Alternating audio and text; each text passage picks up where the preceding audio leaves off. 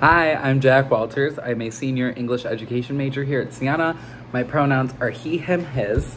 And before you ask, my name is just Jack. It's not John, it's not Jackson or anything like that.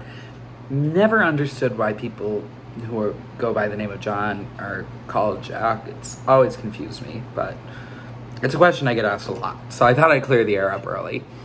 Um, some of my intellectual interests is I've always, always, always loved English class. It was always my favorite subject. Um, I've loved storytelling. I've loved how stories are crafted and how people write. People, people write similarly to how they talk. Walk with me here. So you know how like nobody tells the same story the same. Like everybody tells it differently. Like I, I'm a very dramatic person. I go into extreme detail some people aren't like that. Some people just tell the basic stuff and they call it a day. And that's unique. And it's so similar to how we write. Nobody writes the same.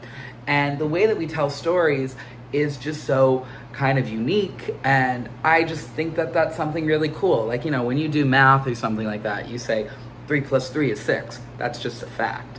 With writing, though, there's so many different ways and there's so many ways for you to be creative with it and that's something I really loved and something that I hope to pass on to my future classroom. Um, so yeah, there's that. Um, how did I get in, how did my interest come to me? Um, well, I've, I'm a huge Star Wars fan and before Disney bought Star Wars, I read the expanded universe novels. One of them I have right here. Love this book.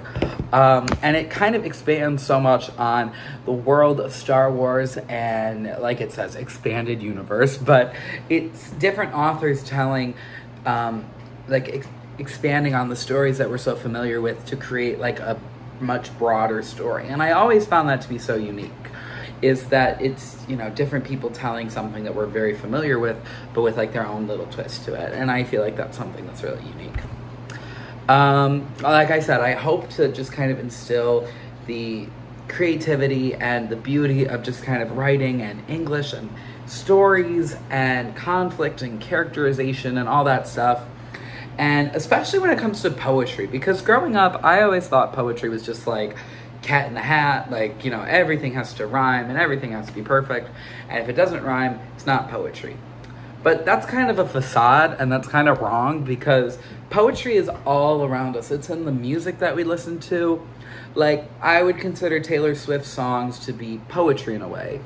One, because yes, they do rhyme, but B, her songs always tell a story. Like, you can always follow the story along. And I feel like if you were to just put her lyrics up, it could be like that. Or like Maya Angelou.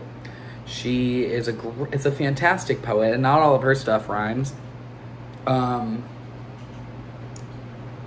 oh my gosh, why am I blanking? Oh well, I, I gave you two examples, so so there's that. Um, but I don't know. It's also like if you go on Pinterest and you see like inspirational quotes, sometimes like that could be deemed poetry, um, and it's so so unique and so creative, and that's something I really love about English, and one of the reasons why I decided to pursue this as my major. And yeah, I'm really excited about that. All right, so I don't have much time left. I'm trying to meet the four minute deadline, but um, I am a huge, huge, huge people person. I love talking to new people and learning new things and building connections with people. I recently worked as an orientation leader on campus for my third and final year. So I love fun facts about people. And yeah, overall, I'm just really looking forward to getting to know all of you and getting to work with all of you. And yeah, thanks for listening.